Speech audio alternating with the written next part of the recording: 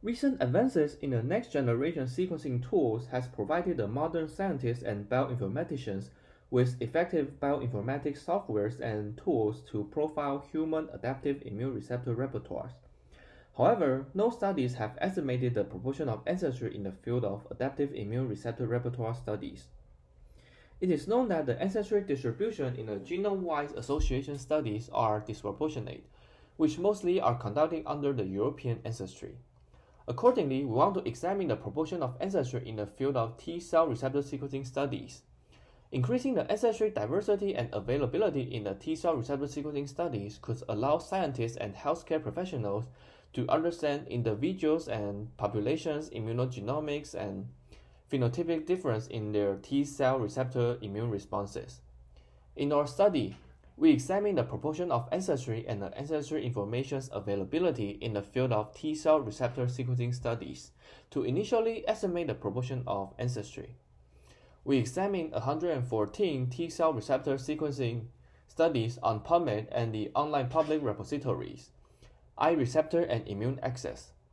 For the studies without ancestry information, we made email inquiries to the authors to request the ancestry information. We eventually included 42 studies with available ancestry information and analyzed the ancestry information over 3,341 study participants. According to Figure 1, we can note that the proportion of ancestry of the study participants in the T-cell receptor sequencing studies are mainly Europeans. If we look at the proportion of ancestry in the reported studies, we can note that more than half of the studies are conducted under the European ancestry. Accordingly, we can note that the proportion of ancestry in the T-cell receptor sequencing studies are highly disproportionate. Looking into the figure 2, we examine the changes in the proportion of ancestry among the studies over years. We can note that although the proportion of the non-European ancestry is increasing in recent years, the proportion of ancestry is still highly disproportionate. Additionally, according to Figure 3, we can note that a majority of the T-cell receptor sequencing studies have unavailable ancestry information only 19.1% of the T cell receptor sequencing studies have included ancestry information in the original study design. After the email inquiries for requesting the ancestry information to the authors, only 38.2% of the T cell receptor sequencing studies have available ancestry information. Additionally, based on the Figure 4 result, the ancestry information we acquired are either self reported or investigator reported ancestry information or race ethnicity data.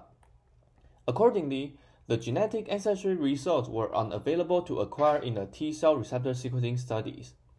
The genetic ancestry depicts the single nucleotide variants across a certain geographic origin groups and depicts the extent of different single nucleotide variants among individuals, which could help define the differences among ancestry. The race, ethnicity, and self-reported ancestry are known to be different from genetic ancestry, which might potentially decrease the statistical power to identify genetic risk factors in the genetic studies.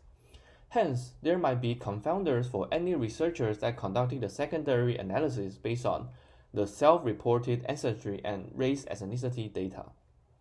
To mitigate the disproportionate and unavailable ancestry distribution, the scientific community should establish a standardized protocol in reporting the study participants' genetic ancestry background in the immunogenomics studies and account for the importance of ancestry in the field of immunogenomics, and eventually could promote health equity in the field of immunogenomics across all the populations.